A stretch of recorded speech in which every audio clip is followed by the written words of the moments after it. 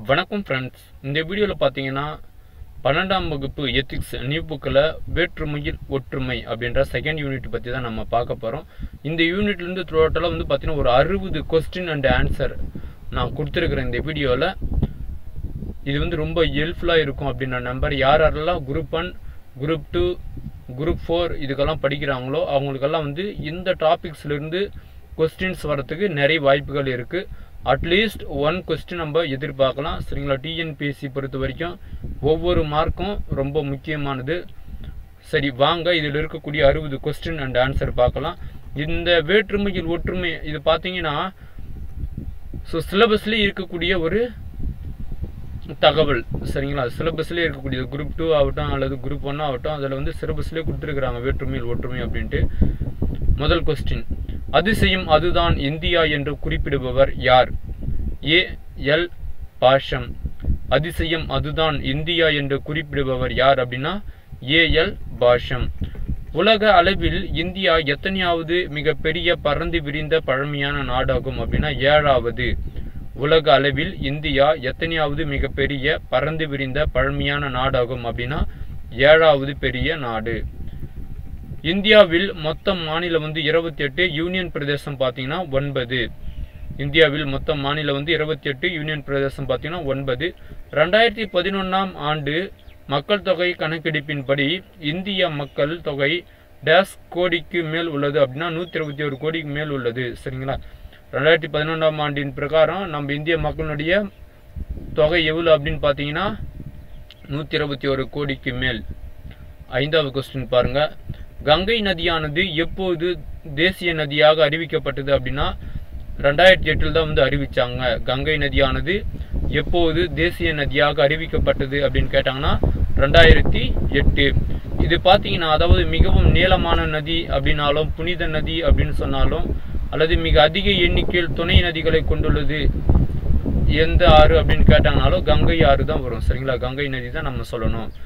ஆறாவது கொஸ்டின் பாருங்கள் இந்தியாவை ஆசியா கண்டத்திலிருந்து பிரிப்பது எது அப்படின்னா இமயமலை இந்தியாவை ஆசியா கண்டத்தில் இருந்து பிரிப்பது எது அப்படின்னா இமயமலை ஆசியாவின் இத்தாலி எது அப்படின்னா இந்தியா. ஆசியாவின் இத்தாலி என்று அழைக்கப்படுவது நம்மளுடைய இந்தியா. ஒரு நாட்டின் பொருளாதார வளர்ச்சிக்கு அந்நாட்டின் டேஸ் அடிப்படை ஆகும். பருவநிலையே காரணம் சரிங்களா? அதாவது ஒரு நாட்டின் பொருளாதார வளர்ச்சிக்கு அந்நாட்டின் பருவநிலையே அடிப்படை ஆகும். ஒன்பதாவது கொஸ்டின் பாருங்க. அதாவது எங்கங்கே என்னென்ன விளையுது அப்படின்றத பற்றி சொல்லியிருக்கிறாங்க. கேரளா பார்த்தீங்கன்னா மிளகு வாசனை பொருட்கள் இது எல்லாம் பார்த்தீங்கன்னா கேரளாவில் விளையக்கூடியது. சரிங்களா? கேரளாவில் வந்து மிளகு வாசனை பொருட்கள். மேற்கு வங்காளம் தமிழ்நாடு இங்கெல்லாம் பார்த்தீங்கன்னா நெல் வந்து உற்பத்தி செய்யப்படுகிறது. மேற்கு வங்காளம் தமிழ்நாடு இங்கெல்லாம் பார்த்தீங்கன்னா நெல் வந்து உற்பத்தி செய்யப்படுகிறது. குஜராத் மகாராஷ்டிரா போன்ற பகுதிகளில் பருத்தி உற்பத்தி செய்யப்படுகிறது. குஜராத் மகாராஷ்டிரா போன்ற பகுதிகளில் பருத்தி வந்து உற்பத்தி செய்கிறாங்க பஞ்சாப்ல வந்து கோதுமை வந்து உற்பத்தி செய்கிறாங்க கேரளா அப்படின்னா மிளகு வாசனை பொருட்கள் மேற்கு வங்காளம் தமிழ்நாட்டில் பார்த்தீங்கன்னா நெல் குஜராத் மகாராஷ்டிரா வந்து பருத்தி பஞ்சாப்ல பார்த்தீங்கன்னா கோதுமை. இதுதான் வந்து நம்ம இந்தியாவில் விளையக்கூடிய உற்பத்தி பொருட்கள். சரிங்களா? அதே மாதிரி மத்திய பிரதேசத்தில் பார்த்தீங்கன்னா பருப்பு வகைகள் அஸ்ஸாமில் வந்து தேயிலை கர்நாடகாவில் வந்து காப்பி சரிங்களா? ஸோ இதெல்லாம் வந்து விளையக்கூடியது. கர்நாடகாவில் தான் வந்து காப்பி ஃபேமஸ்ஸு சரிங்களா? அஸ்ஸாமில் வந்து தேயிலை மத்திய பிரதேசத்தில் வந்து பருப்பு. ஸோ இவை அனைத்தும் இந்தியாவில் உற்பத்தி ஆகக்கூடிய பொருட்கள். அதாவது வேளாண்மையில் உற்பத்தி ஆகக்கூடிய பொருட்கள். பத்தாவது பார்த்தீங்கன்னா பீடபூமி என்பது டேஸ் உயர்நிலை உயர் நிலங்கள் ஆகும் அப்படின்னாங்க. அதாவது மழை குறைந்த உயர் நிலங்கள் ஆகும் இது வந்து ஒரு முக்கியமான கொஸ்டின் புக் பேக்கில் கூட வரக்கூடியது சரிங்களா? பீடபூமி என்பவை மழை குறைந்த உயர் நிலங்கள் ஆகும். பதினொன்றாவது கொஸ்டின் பாருங்கள் சோட்டா நாக்பூரி பீடபூமியில் பார்த்தீங்கன்னா கனிம வளங்கள் நம்மளுக்கு கிடைக்கிறது சரிங்களா? சோட்டா நாக்பூர் பீடபூமியில் வந்து கனிம வளங்கள் கிடைக்கிறது. மாவள பீடபூமியில் வந்து திணை கிடைக்கிறது. தக்கான பீடபூமியில் பார்த்தீங்கன்னா பருப்பு வகைகள் மற்றும் எண்ணெய் வித்துக்கள் எல்லாம் கிடைக்கக்கூடியது சரிங்களா? ஸோ இது வந்து பொருத்துகள் வர்றதுக்கு வாய்ப்புகள் இருக்கு. சோட்டா நாக்புரி பீப்டு பூமியில் பார்த்தீங்கன்னா கனிம வளங்கள். மாவள பீடபூமி அதில் பார்த்தீங்கன்னா திணை பொருட்கள் தக்கான பீடபூமியும் பார்த்தீங்கன்னா பருப்பு வகைகள் மற்றும் எண்ணெய் வித்துக்களால் வந்து தக்கான பீடபூமியில் உற்பத்தி பண்ணுறாங்க பன்னெண்டாவது கொஸ்டின் பாருங்க. டேஸ் சமவெளிகளில் ஆரியர்கள் வாழ்ந்து வந்ததை வேதங்கள் குறிப்பிடுகின்றன அப்படியே கங்கை சமவெளி. ஆன்சர் பார்த்தீங்கன்னா கங்கை சமவெளி. டேஸ் சமவெளிகளில் ஆரியர்கள் வாழ்ந்து வந்ததை வேதங்கள் கூறுகின்றன அப்படின்னு கேட்டாங்கன்னா கங்கை சமவெளி பகுதிகளில் தான் சரிங்களா? கிமு ஐந்தாம் நூற்றாண்டிலேயே இந்தியா பல இனங்களையும் அதிக மக்கள் தொகையையும் பெற்றிருந்தது என்று கூறியவர் யார் அப்படின்னா எரட்டோட்டஸ் சரிங்களா அப்படின்றவர் தான் சரிங்களா? எரட்டோட்டஸ் பார்த்தீங்கன்னா வரலாற்றின் தந்தை அப்படின்ட்டு அழைக்கிறாங்க சரிங்களா? ஸோ கிமு ஐந்தாம் நூற்றாண்டிலேயே இந்தியா பல இனங்களை அதிக மக்கள் பல இனங்களையும் அதிக மக்கள் தொகையும் பெற்றிருந்தது அப்படின்னு சொல்லக்கூடிய அறிஞர் யார் அப்படின்னா எட்ரோ எரட்டோட்டஸ். இவர் வந்து பார்த்தீங்கன்னா வரலாற்றின் தந்தையும் கூட இவர் தான் எரிட்டோட்டஸ் தான் சரிங்களா? பதினாலாவது கொஸ்டின் பாருங்கள் இந்தியாவை பல இனங்களின் அருங்காட்சியகம் என்பவர் யார் அப்படின்னா டாக்டர் வின்சென்ட் ஆர்தர் ஸ்மித் சரிங்களா? இந்தியாவை பல இனங்களின் அருங்காட்சியகம் என்பவர் யார் அப்படின்னா டாக்டர் வின்சென்ட் ஆர்தர் ஸ்மித் பதினஞ்சாவது கொஸ்டின் பாருங்கள் இந்தியாவில் வந்து என்னென்ன இனங்கள் அப்- வாழ்கிறாங்க அப்படின்னு பார்த்தீங்கன்னா காஷ்மீர் பஞ்சாப் ராஜபுதனம். ஸோ இந்த இடத்துலலாம் பார்த்தீங்கன்னா இந்தோ ஆரியர்கள் இனம் வாழ்கிறார்கள். சரிங்களா? காஷ்மீர் பஞ்சாப் ராஜபோதனம். நம்ம கேள்விப்பட்டிருப்போம். ஆரியர்கள் வந்து முதல் முதல் எந்த பக்கம் வந்தாங்க? இந்த பஞ்சாப்ஸ் அந்த பக்கம் தான் வந்து ஊடுருவி வந்து தான் நம்ம படிச்சிருக்கிறோம். வேத காலங்களில். சரிங்களா? ஸோ அவ்வாறு பார்க்கும்போது க காஷ்மீர் பஞ்சாப் ராஜபுதனம். ஸோ இந்த இடத்துலலாம் பார்த்தீங்கன்னா இந்தோ ஆரிய இனம் இருக்கக்கூடியது. தமிழகம் ஆந்திரம் மைய மாநிலங்கள் சோட்டா நாக்பூர் ஸோ இங்கெல்லாம் பார்த்தீங்கன்னா திராவிடர் இனம் இருக்கக்கூடியது. சரிங்களா? ஸோ தமிழ்நாடுனவே திராவிடர் இனம் அப்படின்னு நம்ம ஈஸியாக ஞாபகம் வச்சுக்கலாம். அசாம் நேபாள எல்லை பார்த்தீங்கன்னா மங்கோலியர். சரிங்களா? அசாம் நேபாள எல்லையில் வந்து மங்கோலியர் இனம். ஐக்கிய மாநிலங்கள் பீகார் ஆகிய இடங்களில் ஆரிய திராவிடர். சரிங்களா? பீகார் ஐக்கிய மாநிலங்கள் வந்து பார்த்தீங்கன்னா ஆரிய திராவிடர். வங்காளம் ஒட்டார தேசம் அதாவது ஒடிஷாவை தான் ஒட்டார தேசம் அப்படின்னு சொல்கிறாங்க இங்கெல்லாம் பார்த்தீங்கன்னா மங்கோல் திராவிடர்கள் இருக்கிறாங்க. சரிங்களா? மங்கோல் திராவிடர்கள். எங்கே அப்படின்னா வங்காளம் ஒட்டார தேசம். மராட்டியாவில் பார்த்தீங்கன்னா சிந்தியா. சரிங்களா?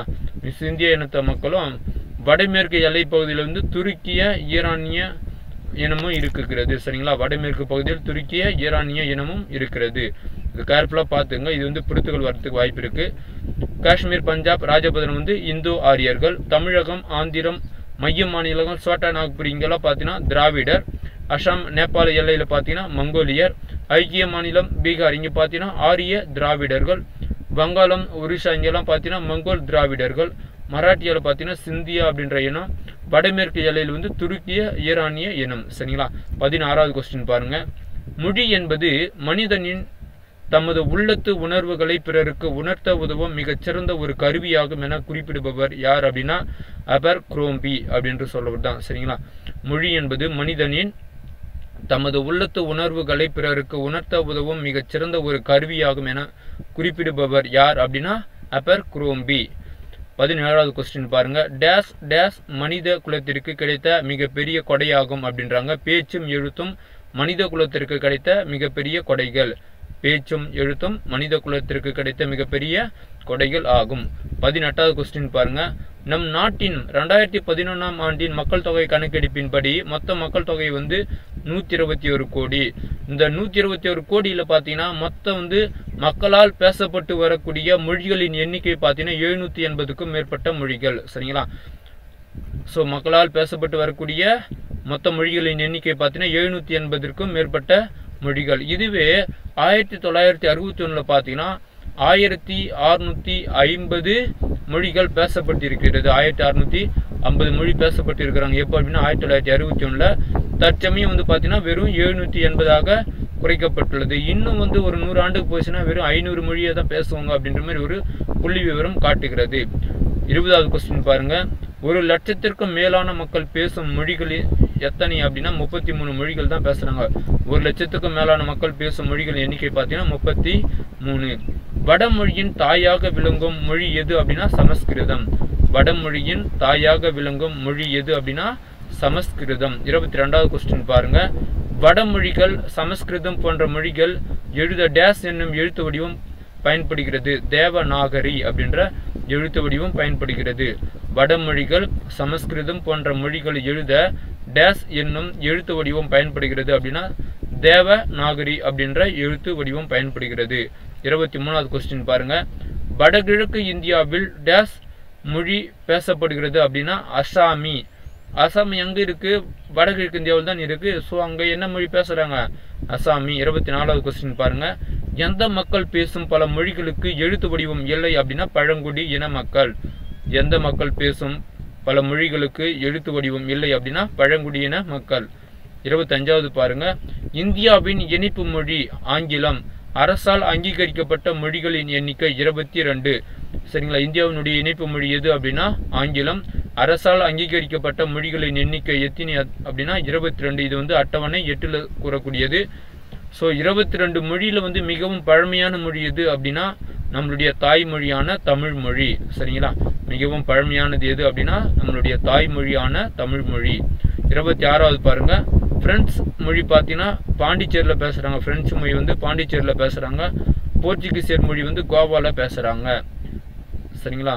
ஏன் அப்படின்னா ஃப்ரெண்ட்ஸில் வந்து பா பாண்டிச்சேரி வந்து ஃப்ரெண்ட்ஸுக்காரர் இருந்தாங்க இல்லையா? கோவாவில் வந்து போர்ச்சுகீசியர் இருந்தாங்க. ஸோ அதனால் வந்து அங்கே வந்து அதை ஃப்ரெண்ட்ஸ் மொழியும் பாண்டிச்சேரியிலையும் போர்ச்சுகீசிய மொழி வந்து கோவாலையும் பேசுகிறாங்க இருபத்தி ஏழாவது கொஸ்டின் பாருங்க. ரெண்டாயிரத்தி பதினொன்று படி இந்தியாவின் புள்ளி விவரம் அதாவது எந்த சமயத்தினர் வந்து எவ்வளோ பேர் இருக்கிறாங்க அப்படின்றத புள்ளி விவரம் காட்டுது. இந்துக்கள் பார்த்தீங்கன்னா எழுபத்தி ஒன்பது புள்ளி எண்பது பர்சன்டேஜ் தான் வந்து இந்துக்கள் இருக்கிறாங்க. நம்மளுடைய இந்தியாவில் இந்துக்கள் பார்த்தீங்கன்னா எழுபத்தி ஒன்பது புள்ளி எண்பது பர்சன்டேஜ் முஸ்லீம்கள் பார்த்தீங்கன்னா பதினாலு புள்ளி இருபத்தி மூணு பர்சன்டேஜ் இருக்கிறாங்க. முஸ்லீம்கள் வந்து பதினாலு புள்ளி இருபத்தி மூணு பர்சன்டேஜ் கிறிஸ்துவர்கள் பார்த்தீங்கன்னா ரெண்டு புள்ளி மூணு ஜீரோ பர்சன்டேஜ் சரிங்களா? கிறிஸ்துவர்கள் வந்து ரெண்டு புள்ளி மூணு ஜீரோ பர்சன்டேஜ் சீக்கியர்கள் பார்த்தீங்கன்னா ஒன்று புள்ளி எழுபத்தி ரெண்டு பர்சன்டேஜ் அதாவது ஏழு ரெண்டு அப்படின்னு சொல்லுவாங்க. பாயிண்ட்டுக்கு மேலே பண்ணவே சீக்கியர்கள் பார்த்தீங்கன்னா ஒன்று புள்ளி ஏழு ரெண்டு பர்சன்டேஜ் பௌத்தர்கள் பார்த்தீங்கன்னா ஜீரோ புள்ளி ஏழு பர்சன்டேஜும் சமணர்கள் வந்து ஜீரோ புள்ளி முப்பத்தேழு பர்சன்டேஜும் நம்ம இந்தியாவிலும் இருக்கிறாங்க. ஸோ அதிகமாக இருக்கக்கூடியது நம்ம இந்துக்கள் இந்தியா அப்படின்றதுனால பார்த்தீங்கன்னா ஸோ எழுபத்தி ஒன்பது புள்ளி எண்பது பர்சன்டேஜ் நாம் இருக்கிறோம். அதாவது இந்துக்கள் முஸ்லீம்கள் பார்த்தீங்கன்னா பதினாலு புள்ளி இருபத்தி மூணு பர்சன்டேஜ் இருக்காங்க. கிறிஸ்துவர்கள் பார்த்தீங்கன்னா ரெண்டு புள்ளி மூணு ஜீரோ பர்சன்டேஜ் ஸோ மூணாவது இடத்துல அவங்களும் சீக்கியர்கள் வந்து நாலாவது இடத்துல சமணர்கள் ஐந்தாவது இடத்துல பௌத்தர்கள் வந்து ஆறாவது இடத்துல இருக்கிறாங்க. சரிங்களா? ஸோ இது வந்து பொருத்துக்கள் வர்றதுக்கு வாய்ப்புகள் இருக்கு. இந்துக்கள் அப்படின்னா எழுபத்தி ஒன்பது புள்ளி எண்பது. சரிங்களா? இது கேர்ஃபுல்லாக ஞாபகம் வச்சுக்கோங்க கிறிஸ்தவர்கள் வந்து வெறும் ரெண்டு பர்சன்டேஜ் தான் இருக்கிறாங்க. முஸ்லீம்கள் வந்து பதினாலு பர்சன்டேஜ் இருக்காங்க. இரண்டாவது இடமா முஸ்லீம்கள் இருக்காங்க. நெக்ஸ்ட் பாருங்க.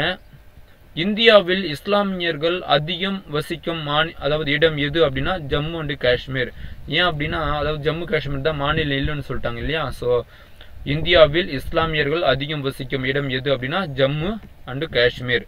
கிறிஸ்துவர்கள் அதிக வசிக்கும் இடங்கள் எது அப்படின்னா அருணாச்சல பிரதேசம் மிசோராம் மேகாலயா. கிறிஸ்துவர்கள் அதிகம் வசிக்கும் இடங்கள் எது அப்படின்னா அருணாச்சல பிரதேசம் மிசோராம் மேகாலயா. சீக்கியர்கள் அதிகம் வசிக்கும் மாநிலம் எது அப்படின்னா பஞ்சாப். சீக்கியர்கள் அதிகம் வசிக்கும் மாநிலம் எது அப்படின்னா பஞ்சாப்.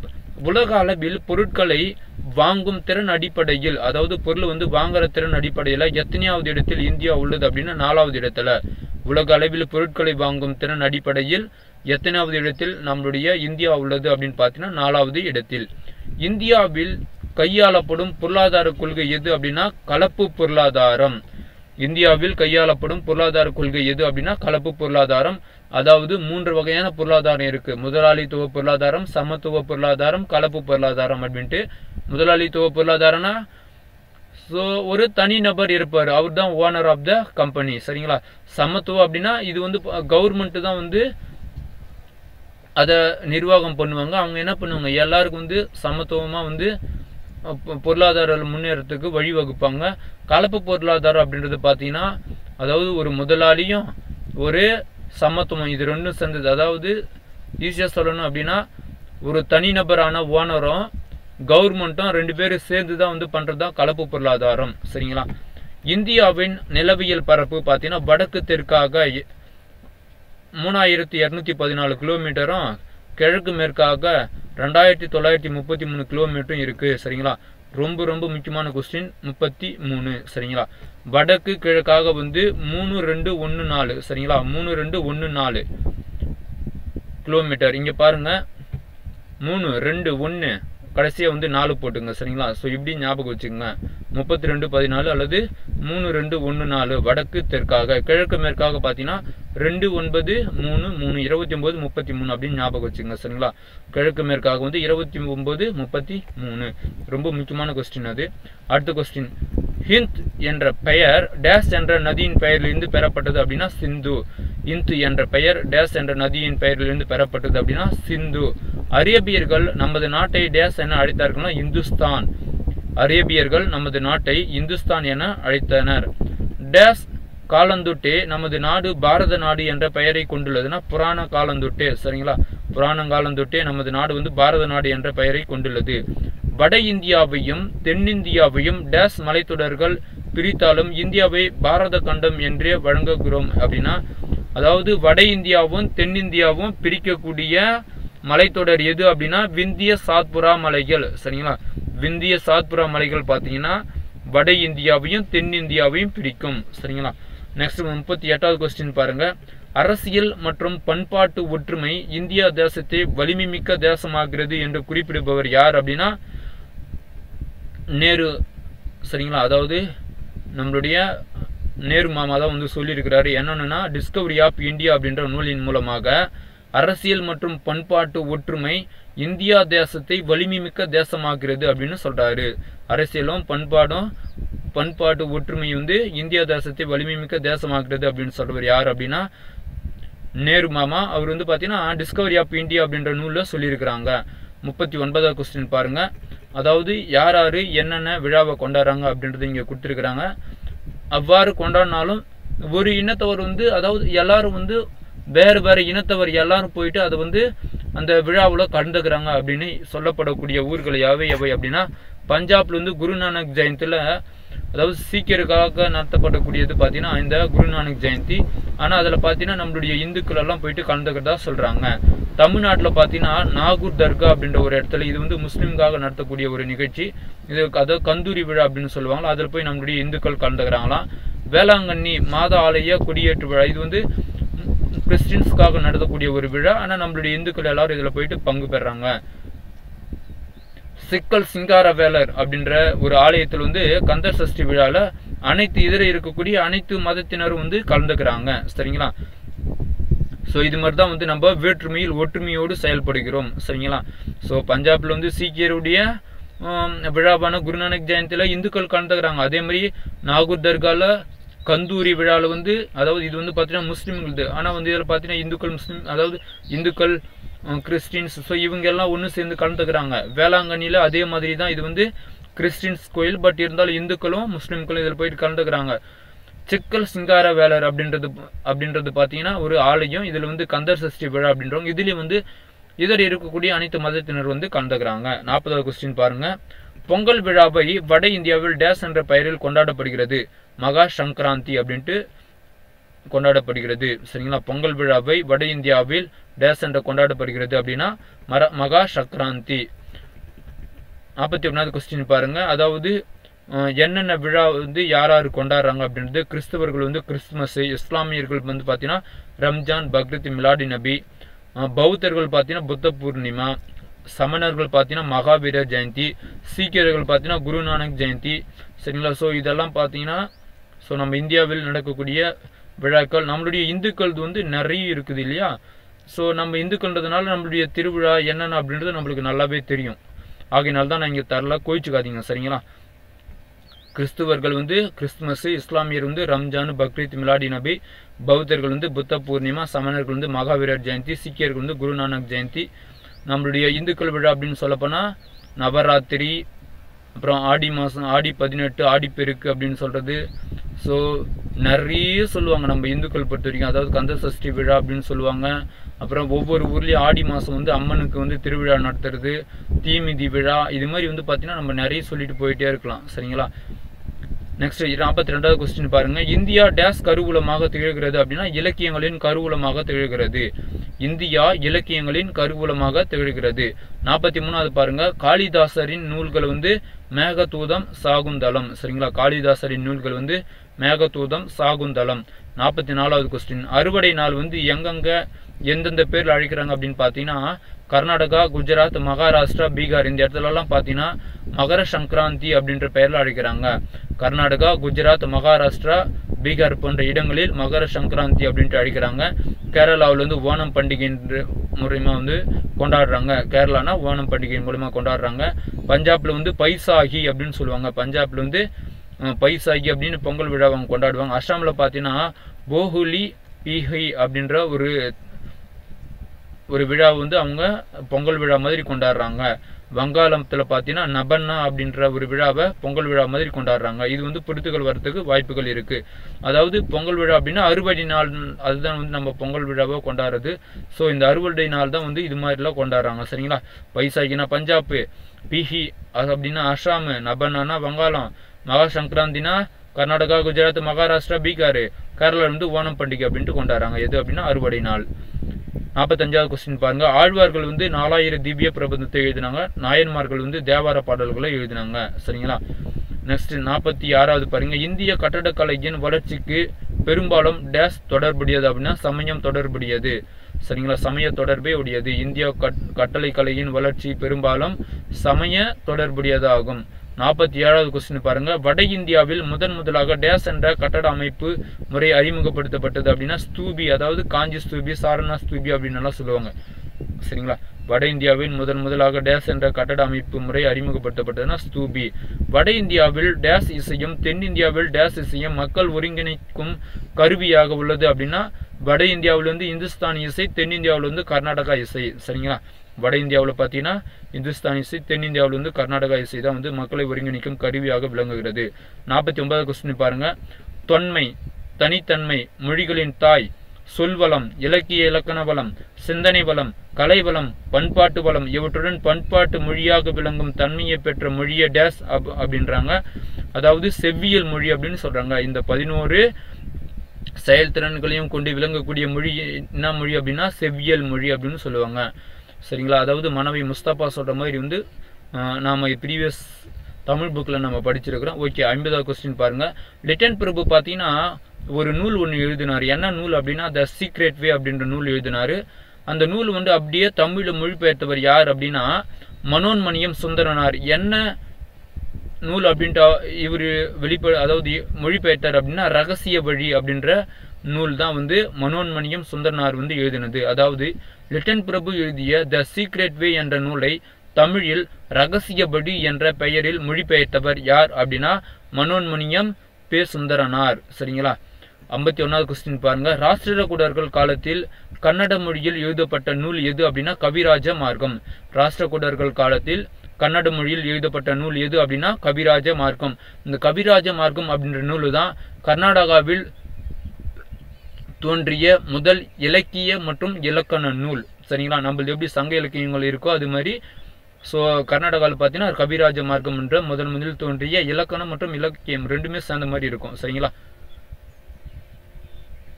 ஐம்பத்தி ரெண்டாவது கொஸ்டின் பாருங்க. விஜயநகர பேரரசு காலத்தில் தெலுங்கு மொழியில் எழுதப்பட்ட நூல் எது அப்படின்னா ஆமுக்த மல்யுதா சரிங்களா அப்படின்ற நூல். சரிங்களா? விஜயநகர பேரரசு காலத்தில் தெலுங்கு மொழியில் எழுதப்பட்ட நூல் எது அப்படின்னா ஆமுக்த மால்யதா அப்படின்ற நூல் சரிங்களா? ஸோ கவிராஜ மார்க்கம் வந்து கர்நாடகம் ஆமுத்த மால்யுதா அப்படின்றது பார்த்தீங்கன்னா தெலுங்கு. ஐம்பத்தி மூணாவது கொஸ்டின் பாருங்க.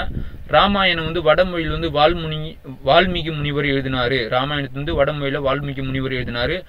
அதை வந்து பார்த்தீங்கன்னா இந்தியில மொழிபெயர்த்தவர் வந்து துளசிதாசர் தமிழில் மொழிபெயர்த்தவர் வந்து கல்வி கம்பன் அப்படின்றவர் சரிங்களா கல்வியில் சிறந்த கம்பனாக விளங்கக்கூடிய கம்பர் தான் வந்து தமிழில் மொழிபெயர்த்தார்.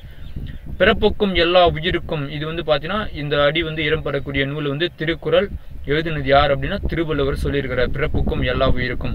அதாவது இந்த செந்தமிழ் பாட்டு ஒன்று வரும் சரிங்களா? ஸோ அதில் நம்ம ஏ ஆர் ரகுமான் ஃபர்ஸ்ட் லைனே இதுதான் பாடுவார். பிறப்புக்கும் எல்லா உயிருக்கும் அப்படின்ட்டு பாடுவார் சரிங்களா? ஐம்பத்தி அஞ்சாவது கொஸ்டின் பாருங்க. இந்தியாவின் தேசிய கொடி எது அப்படின்னா மூவண்ண கொடி சரிங்களா? அதுக்கு அடுத்தது வந்து தேசிய பாடல் வந்து பார்த்தீங்கன்னா வந்தே மாதரம். இந்த வந்தே மாதரம் பாடலை யார் எழுதினது அதாவது பாடியது அப்படின்னு பார்த்தீங்கன்னா பக்கிம் சந்திர சாட்டர்ஜி தான் வந்து பாடியிருப்பார் சரிங்களா? வந்தே மாதரம் தேசிய பாடல் வந்து வந்தே மாதரம். இது யார் எழுதினது அப்படின்னா பக்கிம் சந்திர சாட்டர்ஜி தேசிய கீதம் பார்த்தீங்கன்னா ரவீந்திரநாத் தாகூர் சரிங்களா? அவர் அதாவது ஜனகண மனகதி. அதுதான் வந்து தேசிய கீதம். இது வந்து ரவீந்திரநாத் தாகூர் வந்து எழுதினது. தேசிய பறவை பார்த்தீங்கன்னா மயில் தேசிய விலங்கு வந்து புலி தேசிய மரம் பார்த்தீங்கன்னா ஆலமரம். சரிங்களா? பறவை வந்து மயில் விலங்கு வந்து புலி மரம் வந்து ஆலமரம். இதெல்லாம் வந்து தேசியம் பற்றி சொல்லக்கூடியது. ஐம்பத்தி ஆறாவது பாருங்க. சமாதான வாழ்விற்கு அடிப்படை டேஸ் மனப்பான்மை ஆகும். சகோதரத்துவம். சமாதான வாழ்விற்கு அடிப்படை டேஸ் மனப்பான்மை ஆகும் அப்படின்னா சகோதரத்துவம். ஐம்பத்தி ஏழாவது கொஸ்டின் பாருங்க. தேசிய திருவிழாக்கள் என்னென்ன திருவிழா நடக்குது அப்படின்றது கொடுத்துருக்குறாங்க. அதாவது ஆகஸ்ட் பதினஞ்சாம் தேதி வந்து சுதந்திர தின விழா ஜனவரி இருபத்தி ஆறாம் தேதி வந்து குடியரசு தின விழா அக்டோபர் ரெண்டாம் தேதி வந்து காந்தி ஜெயந்தி அதாவது காந்தி பிறந்ததுனால அன்னைக்கு வந்து காந்தி ஜெயந்தி நவம்பர் பதினாலாம் தேதி வந்து பார்த்தீங்கன்னா குழந்தைகள் தினம். இது வந்து நேருடைய பிறந்த நாள் நவம்பர் பதினாலு. அது பார்த்தீங்கன்னா நம்ம குழந்தைகள் தினமாக கொண்டாடுறோம். ஜனவரி பன்னெண்டாம் தேதி பார்த்தீங்கன்னா தேசிய இளைஞர் தின விழா அதாவது விவேகானந்தர் பிறந்த நாள் சரிங்களா? ஜனவரி பன்னெண்டு பார்த்தீங்கன்னா தேசிய இளைஞர் இளைஞர் திருவிழா. அப்போ பார்த்தீங்கன்னா விவேகானந்தர் பிறந்தது. கொஞ்சம் கேர்ஃபுல்லாக ஞாபகம் வச்சுங்க. இதெல்லாம் வந்து நம்மளுக்கு தெரியும் சரிங்களா? ஒவ்வொரு இந்திய குடிமகனும் இதெல்லாம் கண்டிப்பாக தெரிஞ்சே இருக்கும். ஆகஸ்ட் பதினஞ்சு வந்து சுதந்திர தின விழா. ஜனவரி இருபத்தி ஆறு வந்து குடியரசு தின விழா. அக்டோபர் ரெண்டு வந்து காந்தி ஜெயந்தி. நவம்பர் பதினாலு வந்து குழந்தைகள் தினம். ஜனவரி பன்னெண்டு வந்து பார்த்தீங்கன்னா தேசிய இளைஞர்கள் தினம். ஐம்பத்தி எட்டாவது கொஸ்டின் பாருங்க. இன்று உலக அரங்கில் வேண்டுவது டேஸ் ஆகும். சமாதானம். சரிங்களா? இன்று உலக அரங்கில் வேண்டுவது டேஸ் ஆகும் அப்படின்னா சமாதானம். ஓகே காய்ஸ் இது வரைக்கும் தான் பார்த்தீங்கன்னா இந்த யூனிட்டில் நான் தொகுத்து கொடுத்துருக்கிற அறுபது கொஸ்டின் சரிங்களா? இது எல்லாமே கவர் ஆயிடுச்சு யூனிட் ஃபுல்லாவுமே கவர் ஆயிடுச்சு. சரிங்களா? இது படித்தாவே போதும். இதிலிருந்து கொஸ்டின்ஸ்கள் வரத்துக்கு வாய்ப்புகள் இருக்குது இந்த வீடியோ உங்களுக்கு பிடிச்சிருக்கு நான் நம்புறேன். இந்த வீடியோ உங்களுக்கு பிடிச்சதுன்னா மறக்காமல் லைக் பண்ணுங்கள் இந்த வீடியோ பற்றின தகவலை கீழே கமெண்ட் பண்ணுங்க. உங்களுடைய ஃப்ரெண்ட்ஸுக்கு ஷேர் பண்ணுங்கள் இது வரைக்கும் நம்முடைய லோக்கல் தமிழ் டிஎன்பிஎஸ்சி ஷார்ட்கட் சேனலை சப்ஸ்கிரைப் பண்ணாதுங்க. ப்ளீஸ் சப்ஸ்கிரைப் பண்ணிக்கோங்க. அதுக்கு அடுத்த வீடியோ பார்த்தீங்கன்னா book back question and answer பார்க்கலாம். சரிங்களா? நன்றி.